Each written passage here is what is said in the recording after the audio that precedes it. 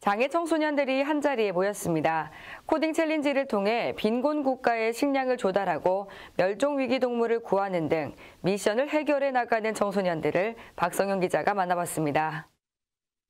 지난 25일 한국장애인단체 총연맹은 SK텔레콤과 함께하는 2022 SK텔레콤 장애청소년 코딩 챌린지 대회를 열었습니다.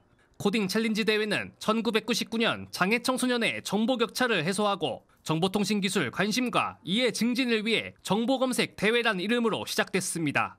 이후 지난 2016년 ICT 메이커톤 대회로 이어져 4차 산업혁명 시대의 인재로서 문제 해결 능력과 논리력 향상을 위해 지난해부터 코딩 챌린지 대회로 탈바꿈했습니다.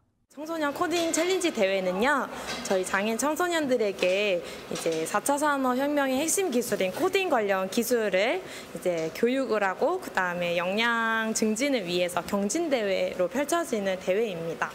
이런 것들을 통해서 성장하는 그런 멋진 어른이 되었으면 좋겠습니다.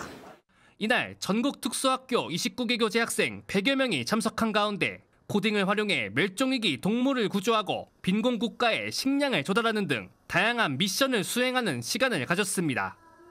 독지TV 뉴스 박순용입니다.